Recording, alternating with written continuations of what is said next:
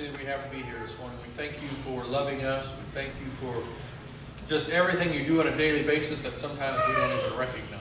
Father, in this season of Thanksgiving, we just need to be thankful for all things that you do, all things in life.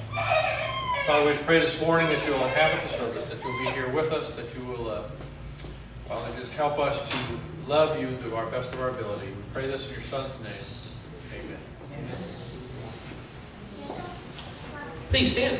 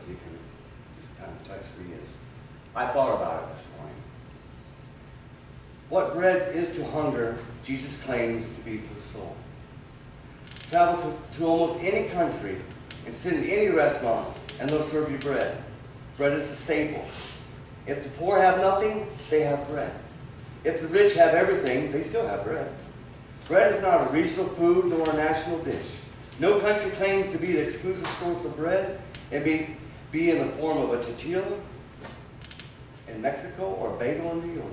But bread is available everywhere. So is Christ. He is not bound by boundaries. No country claims him. No region owns him. No nation monopolizes him.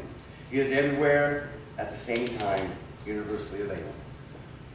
Bread is eaten daily. Some fruits are available only in season. Some drinks are made only at holidays. Not so with bread. And not so with Jesus. He should be brought to our table every day. Let him nourish our hearts, not just in certain months or in special events, but daily. Bread is served in many forms. It is toasted, jellied, buttered, flattened, grilled. It can be a sandwich, sweet roll, hot dog bun, a croissant, a dinner roll. Bread can meet many needs. So can Jesus. He adapts himself to meet our needs. He has a word for the lonely as well as for the popular. He has help for the physically ill and the emotionally ill. If your vision is clear, he can help you. If your vision is cloudy, he can help you. Jesus can meet, meet each need. Can you see why Jesus called himself the bread of life? I think of one other similarity. Consider how bread is made. think about the process. Wheat grows in the field, then is cut down, winnowed, and ground into flour. It passes through the fire of the oven and then is distributed around the world. Only by this process does bread become bread. Each step is essential. Eliminate the plant and you have no wheat. Eliminate the winnowing and you have no flour. Eliminate the fire and you have no product. Eliminate the distribution and you have no satisfaction. Each, each step is essential. Now consider Jesus. He grew up as a small plant before the Lord in Isaiah 53 2. One of millions of boys on the planet. One of thousands in Israel. One of dozens in Nazareth. Indistinguishable from the, from the person down the street or the child next in the chair. Had you seen him as a youngster, you wouldn't have thought he was the Son of God. You might have thought him polite, or courteous, or diligent. But God on earth? Not a chance. He was just a boy. One of hundreds, like a staff of wheat in the wheat field. But like wheat, he was cut down. Like chaff, he was pounded and beaten. He was wounded for the wrong we did. He was crushed for the evil we did. And like the bread he passed, like bread, he passed through the fire. On the cross, he passed through the fire of God's anger. Not because of his sin, but because of ours. The Lord has put on him the punishment for all the evil we have done. Jesus experienced each part of the process of making bread, the growing, the pounding, the firing. And, as e- and just as each is necessary for bread, each was also necessary for Christ to become the bread of life. Christ must suffer these things before he enters his glory in Luke 24, 26. The next part of the process, the distribution. Christ leaves with us. We are the distributors. We can force people, we can't force people to eat the bread, but we can make sure that they have it. Yet, for some reason, we are reluctant to do so. It is much easier to stay in the bakery than to get into the truck. As the following parable illustrates, we might not even know how to give the bread when someone. The beggar and the bread. A beggar came and sat before me. I want bread, he said. How wise are you, I assured him. Bread is what you need, and you have come to the right bakery. So I pulled out my cookbook down from the shelf began to tell him all about bread. I spoke of flour and wheat, grain and barley. My knowledge impressed even me as I cited the measurements in the recipe. When I looked up, I was surprised to see he wasn't smiling. I just want bread. How wise are you? I applauded his choice. Follow me and I'll show you our bakery. Down the hallowed halls I guided him, pausing to point out the rooms where the dough is prepared and the ovens where the bread is baked. No one has such facilities. We have bread for every need. But here's the best part, I proclaimed as I pushed open two swinging doors. This is our room of inspiration. I knew he was moved as we stepped into the auditorium full of stained glass windows. The beggar didn't speak. I understood his silence. With my arm around his shoulder, I whispered, It overwhelms me as well. I then leaped into the podium and struck my favorite pose behind the lectern. People come from miles and miles to hear me speak. Once a week, my workers gather, and I read to them the recipe from the book, Cookbook of Life. By now, the beggar had taken a seat in the front row. I knew what he wanted. Would you like to hear me? No, he said, but I would like some bread. How wise are you? I replied. Now led, led him to the front door of the bakery. What I have to say next is very important, I told him as we stood outside. Up and down this street you will find many bakeries, but take heed, they don't serve the true bread. I know one who adds two spoons of salt rather than one. I know of another whose oven is three degrees too hot. They may call it bread, I warn, but it's not according to the book. The beggar turned and began walking away. Don't you want bread? I asked him. He stopped, looked back at me, and shrugged. I guess I lost my appetite. I shook my head and returned to my office. What a shame, I said to myself. The world just isn't hungry for, for true bread anymore. I don't know what is more incredible that God packaged the bread of life in a wrapper of a country carpenter from Galilee, or that He gives us the keys to the delivery truck. Both moves seem pretty risky. The carpenter did his part, however, and who knows, we may learn to do ours. This um, Thanksgiving, let's set our tables. Let's have a big pile of bread. Let's take that bread and let's pass it out and talk about it and show the love that that bread offers to our family members, to our friends, and to whoever may come. But he is truly the bread of life. As we take the bread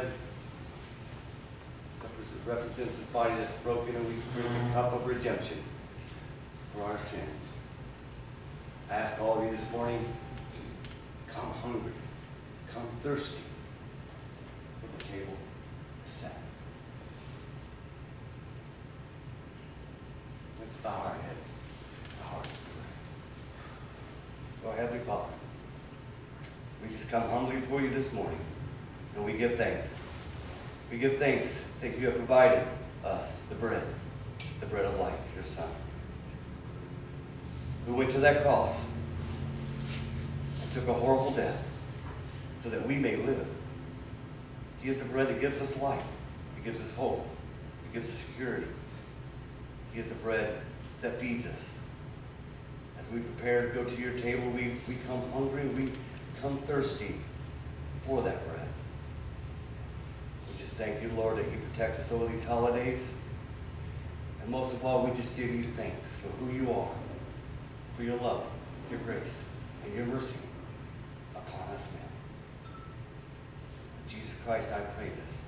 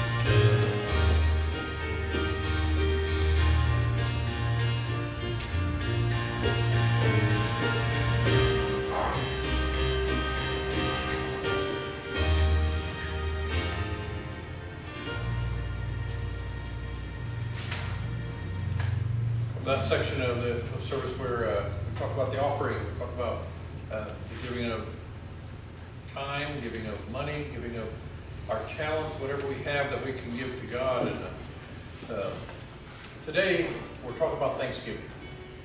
We're talking about being thankful for those things that God has richly blessed us with. And so, as you think, just think on this question. What am I thankful for? What has God given me that I can give back to Him? What today are you thankful for that you can give to God? Let's pray. Father, we thank you for the day. We thank you for this morning. We thank you for the communion that we just shared that shows us your love. And Father, we want to show back our love by giving to you those things that you've so richly blessed us with. Father, we pray that you'll take them, that you'll use them wisely in the kingdom, that we'll use them, and Father, further your kingdom here in this earth. Father, just bless the gift, bless the giver. We pray this in your Son's name. Amen. As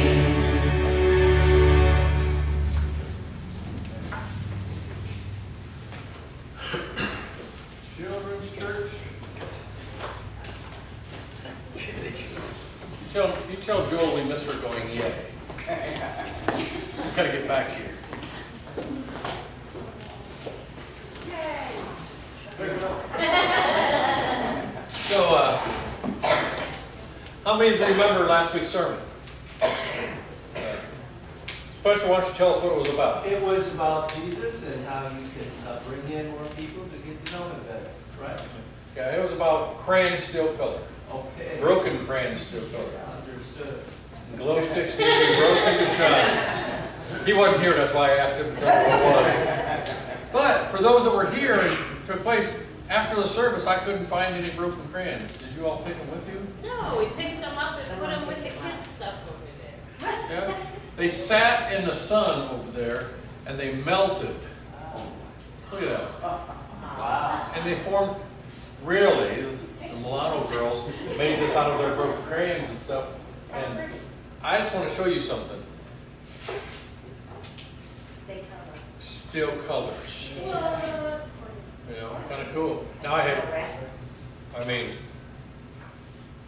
who can do that? I got one crayon, look at it. Huh? There you go. That's kind of cool. Shape of a heart, shape of a heart. So, I, I can see an eBay thing. See that right there? You can read a crayon still color. You see an eBay thing? I do. You know how many broken crayons we have in the kids' church? All of How many of these we can make? Oh, my I wonder if I put it in my pocket, if it melt. I call myself the heater. When I hold the baby, they're like, give it a blanket. I said, no need. It's with the heater. Uh, I'm always hot, so Sometimes you come in here and it's cool, because I'm always hot. Yeah. Not hot. So-. Now, if you're talking to my wife, she'd say, oh no, he's hot. But, um, talking about Thanksgiving and, um, are you thankful no matter what? Are you thankful no, I mean, we have a pandemic going on, are you thankful?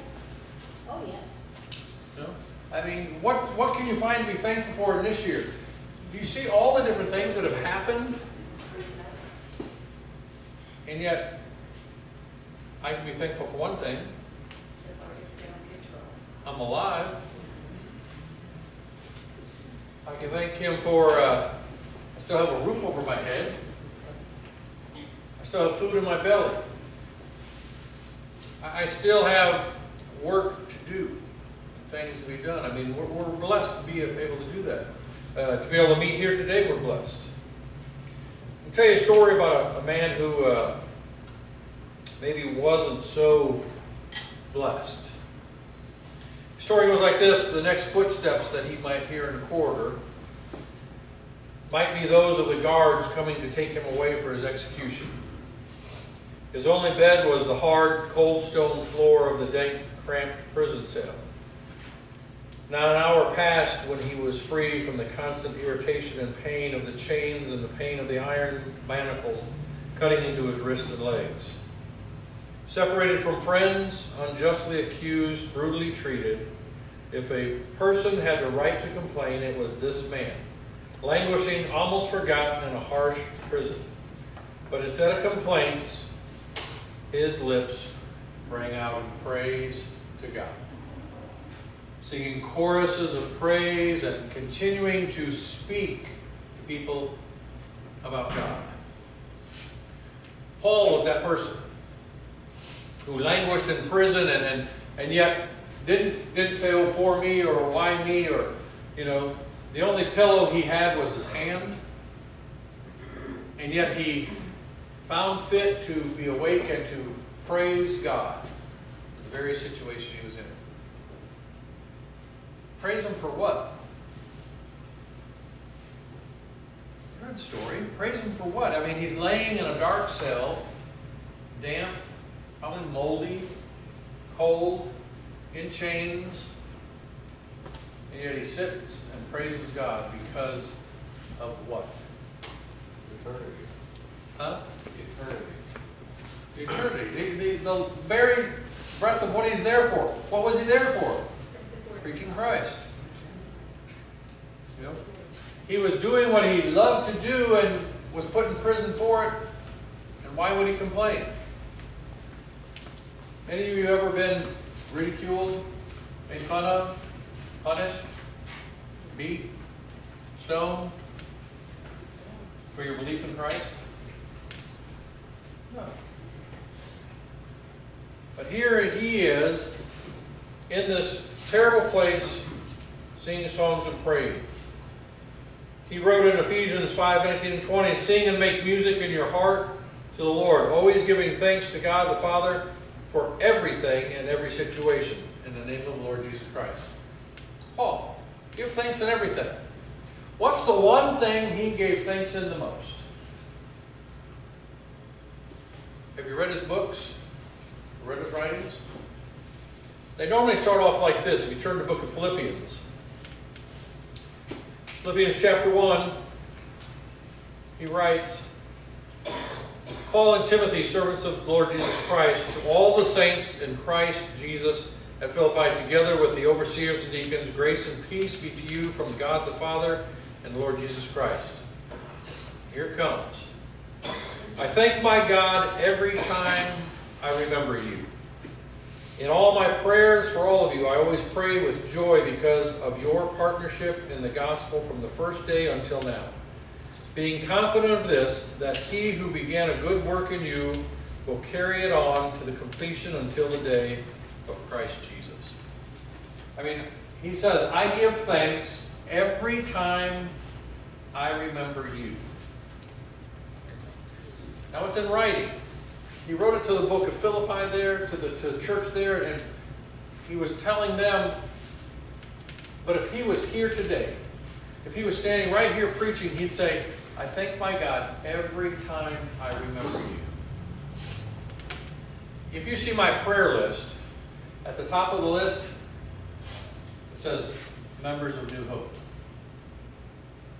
Every day I, I pray for every one of you that you can be exactly what God wants you to be that day. That you don't let Satan hinder you and keep you down. That you can do and be what he would have you to be. We never know what sermon is going to touch what person or say something to what person, but Suzette Sarah shared with us earlier that she heard the sermon last week, loved it, went home, decided that her thing to do was quit smoking. Didn't smoke all week, right? We're still good? And her statement to me was this I get up in the morning and I tell Satan, You're not welcome here. You're not welcome in my house or in my life. Go ahead and get away. You know, starting off every day saying, Okay, Satan, you're not allowed here. Well, if he's not allowed there, who is there? God.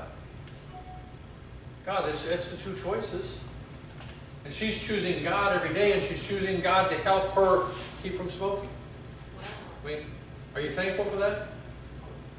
Yeah. Feel better this week? It's a difference, isn't it? I've come to discover that I have strength and I am fighting Satan. I know Satan is going to try to break my spirit. And that's why I talk to him every morning. If you're not doing it, I know what you're gonna try and it's not gonna work. So go away, the door's open and hit it.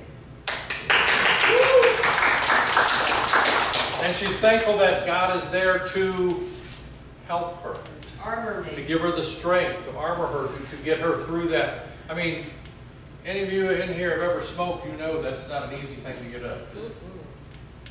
I mean, it kind of grabs on you and holds tight. You know, it's a tough thing. So we need to thank God for the material blessings that we have.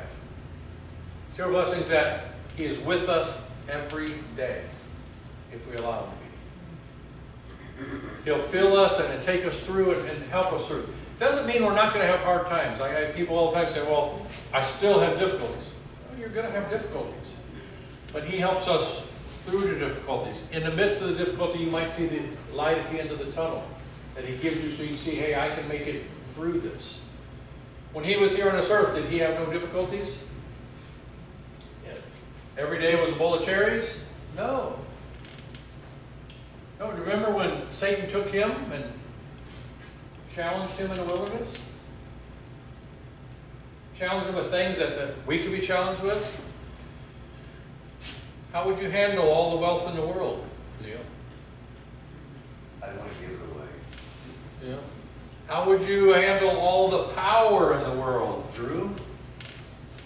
All powerful. I mean, he, he's tempted with these things, and in each instance with that temptation, he quotes Scripture. He tells Satan, Get behind me, just like Suzette. I mean, get thee behind me, get away. We have to thank God for the material blessings that He gives us every day and how He takes care of us. We have to thank Him for the people in our life. I mean, are you thankful for the people that are sitting around you today? For what they mean to you? For what, for what they bring to your life? When I was writing this, I said, I gotta be thankful for the people that are around me. I have a little star here that says, and also those who aren't. I gotta be thankful for some of those people that have been taken away from me. You know, friendships that have faded or for whatever reason because probably they weren't good for the situation I was in. And we have to be able to look at that. I mean, as well as I can thank God for the people around me, thank Him for you, as, as Paul says, I, I thank God, every day that I remember you. I gotta thank God every day for those people that I don't remember. That were bad, that, for me, that were bad. Not that they were bad people, but it wasn't a good relationship. Do you have anybody you don't get along with? How many of you like to see them every single day? I'm thankful that he has taken those people out of my life. As you mature in Christ, people in your life and different things are going to change. You're gonna, you're gonna cycle through as He, as He grows you to what you, He wants you to be and what you can be. We need to thank God in the midst of trials and persecution. Just like Paul in prison. I don't know that if I was sitting in a prison like their prisons back then, not our prisons today that are like country clubs, but the prison back then, if I would be sitting there singing praises. I'd like to think I would be. I'm telling you, I don't know that I would be. We have a tendency to look at ourselves and think, oh, poor me. I didn't get that donut that was left in the box. I saw it, didn't get it, poor me. No. Thank God for the trials and persecutions that come your way. Thank God when there's people out there that test you, that ask you questions, try to find out what it is. I, I was asked a question yesterday. I, I had the privilege of riding in a car with Hank, and we were on our way from the house. I don't know where we were. we were out, but we were on our way to the farm, and a bunch of gators, and he said, How do you write a sermon every week? Where does that come from?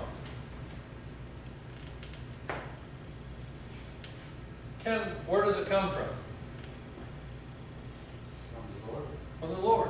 I mean, it's from things that, that happen in your life that's going on, and you think, gosh, others might need to learn this.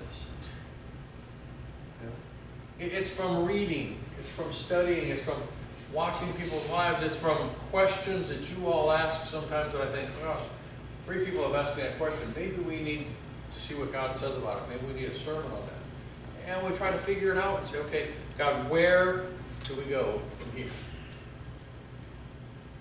Being Thanksgiving, I was looking for some way, some shape, some form to give you something that you can be thankful for. Something different than what we speak about every year. It, it's hard when you have the same congregation and the same people for 20 years to come up with something new on Thanksgiving and Christmas.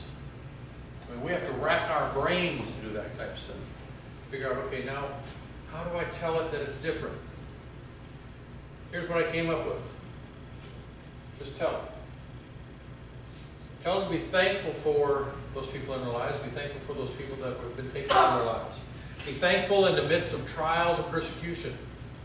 Be thankful that you have a God who loves you and cares for you, that you can get through what you're going through.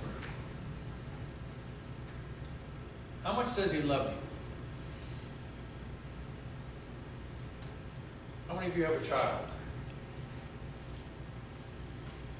How many of you would uh, sacrifice that child? Abraham being told to take Isaac to the top of the mountain and, and kill him? I read the story. I look at it and I'm thinking, how did he even walk up the mountain? How, how did he even begin that trek? And being mean enough to put the sticks that's going to offer him up with on his son's back. Carry your own firewood, kid. I mean, I look at that whole story and I'm thinking, wow. Because Abraham was thankful for the God who got him there. Read the story real close and you'll see that Abraham had faith. Abraham trusted God. He gave him a son at the great age that he was, surely he give him another one if, this, he takes this one. Or maybe he'll supply another sacrifice. A ram stuck in the bushes when you get to the top of the mountain. What about a God that loves you enough that sends his only son to die for you? That's what we celebrate here. the blood, the body. That God sent His Son, Jesus, into this world for one purpose to die for us. Shed His blood to cover our sins. And if you can't be thankful for that, that, that you have the ability to get rid of all sins by asking God the Father, who sacrificed His Son in order to do that, to forgive you. To ask Him to be His. We have to thank God, most especially for that salvation that comes through Jesus Christ. Thank Him for the ability we had to arise today. And I said earlier, I'm thankful I, I've got another day of life. I may not finish this day. It's not promised to me, it's not guaranteed to me, but I'm thankful for the moments I have at this time. I'm thankful that there is salvation. That I can live forever in an eternity with God. Imagine life without it. We've mentioned in Sunday school, imagine life without Christians. What would this world be like? Not good. Can you imagine? I mean, so we thank Him for the salvation that comes through Jesus Christ. We have to thank Him for His continued presence power that He uses every day in our lives. I'm thankful that He left a Holy Spirit behind that can guide and direct, that can keep me from trouble. It is so easy to go towards trouble. It's easy in this life with all these things around us to, to get sidetracked. The Holy Spirit guides us, directs us, and leads us where we need to be. It opens up Scripture to us that we can read and, and understand because the Spirit shows us what it is. It allows us to be His always. Sunday school, I always have to bring that up because a lot of you miss it. Uh, We're talking, and they were talking about what's going to happen the cities that don't obey God. Micah's in there and he's giving some prophecies and stuff, and it's like, if you don't believe in God, I'm going to take away all, all the things you have. I'm going to take away everything. But for those who obey, for those that do do what I say, I give you everything. Which do you want? I mean, I know if I'm not faithful to Him, I can lose it all.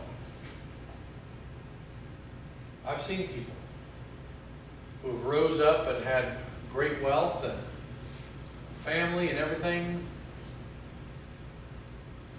to lose millions, to lose their wife, to lose their children, whose only desire today is to see their kids. He's out here. He's walking the street. He's been part of our homeless ministry. Someone who at one point in life gave up on what he believed in God. If you saw him, you wouldn't know it. You would never know that he was a millionaire. You'd never know that he had all this stuff. You'd never know family and life. I mean, he's got pictures of his kids when they were this big. They're 30 and 40 years old today. His only desire in life is to see them. But he blew it. And I'm going to give you a phrase that he said to me. If I could but find Christ one more time, I know there's hope. Can you imagine? Your whole life depends on finding Christ. Wait, you can imagine, right? Because your whole life depends on you finding Christ. Because we were meant to be in a relationship with Him. He created us for that very thing. That we would be His, that we would be together, that we would understand Him and He would understand us, that we would have a relationship, not this. This is Sunday morning and we come and we worship Him because we love Him and adore Him, but the relationship. The thing that happens when you walk outside those doors. That's what the man's looking for. And in essence, that's what we're all looking for. What his phrase was is, is so pertinent to all of us. We are in search of Jesus. And I'm thankful every day that I find out a little bit more about him. I'm thankful every day that I draw a little bit closer. I'm thankful every day that I get someone else that I can talk to or share with and, and tell them, you don't know what life is if you don't have Him. How much greater life could be with Him.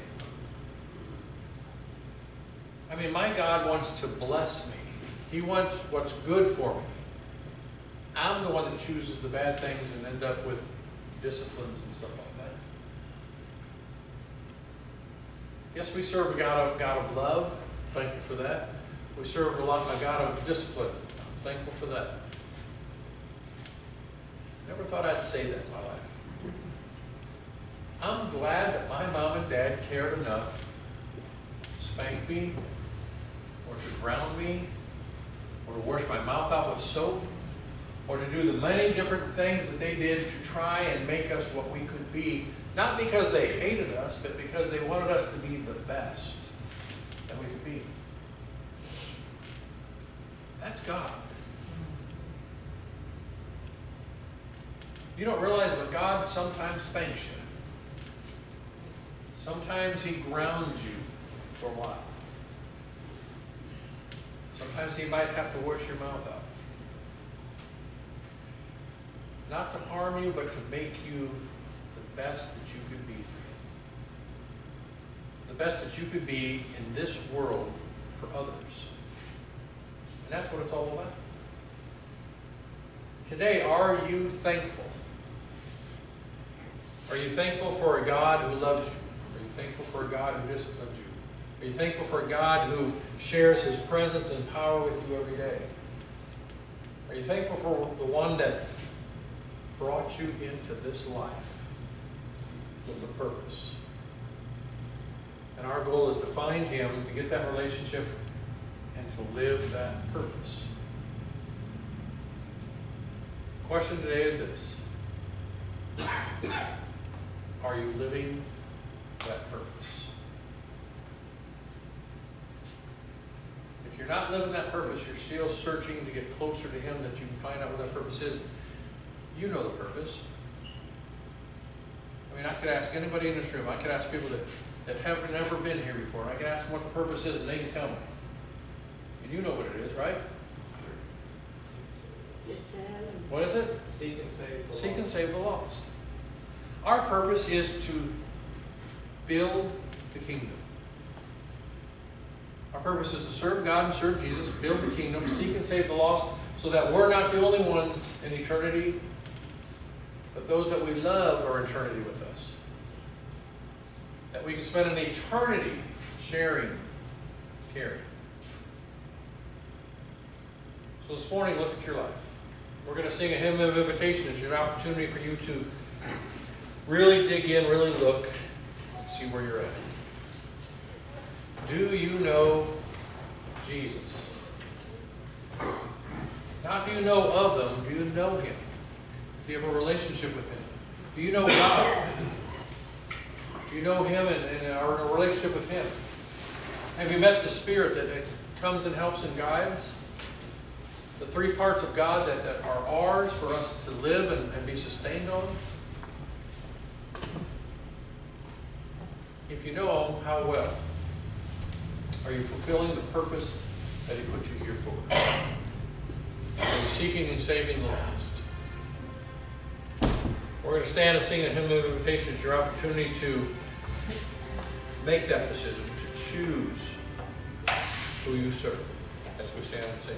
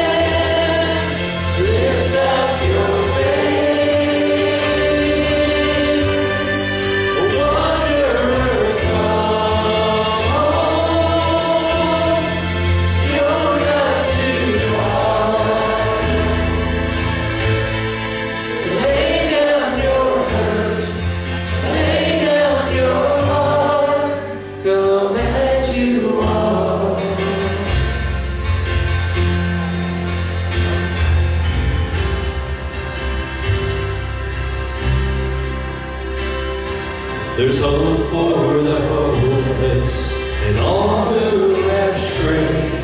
Can sit at the table, come taste and pray.